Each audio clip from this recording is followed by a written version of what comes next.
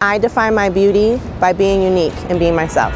I define my beauty as having unconditional self-love that radiates from within. I define beauty as living limitlessly. I define my beauty! We're here with Black Opal, and this is I Define My Beauty. Basically, it's a campaign to help get rid of those stereotypes and those, you know, myths that other people put on you. I feel that this movement is an absolutely wonderful experience to gather makeup artists and beauty enthusiasts to really showcase their love of beauty. Be able to see their uh, self-esteem just raise up just from something as little as, you know, a little concealer, you know, contouring, changing the, the definition of a face structure. I think a lot of it is you try and look good for other people, but then you feel a lot better when you think you look good yourself. Yeah. the world didn't have beauty, I think everyone would go insane.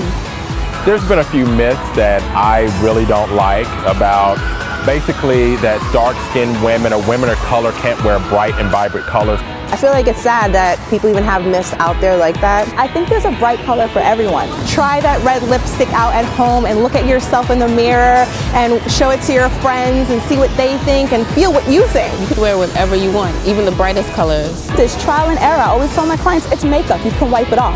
I encourage all women, especially dark toned women, to wear whatever color that they feel best in. So if that's a nude, go for it. If that's a bright red, rock it. It's all about you. You define your beauty. You define what's beautiful. I define my beauty as a constant journey.